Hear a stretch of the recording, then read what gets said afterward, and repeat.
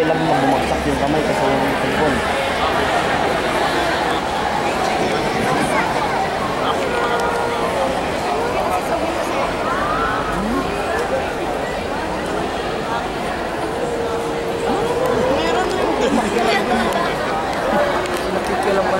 Hmm, nandito na kami sa Nandito na kami sa Cuneta ano, Astrodome.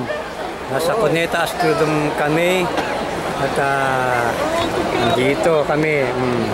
Hello! Dito, dito sa likod ko ay mga mga gwapo dito sa likod ko. Ayun. Sina Sila yung ano. Ay, pwede pala. si Byro nandiyan sa likod ko. Ah. oh. Tapos nandun sa kabila ay yung yung sa pinakadulo ay si si Ramboy. Ayan o. Yan po. Hello, Ma'am Leia. Ay pa kayo. Salom ito, salom. Dito kami sa Astrodome ng Cuneta. Pag napapansin nyo, yung mga upuan dito, ang liliit.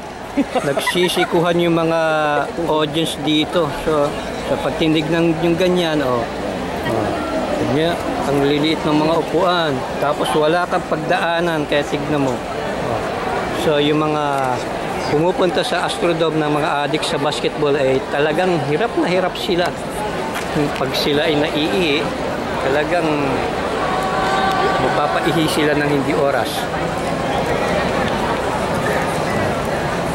Ayan ang Cuneta Astrodome.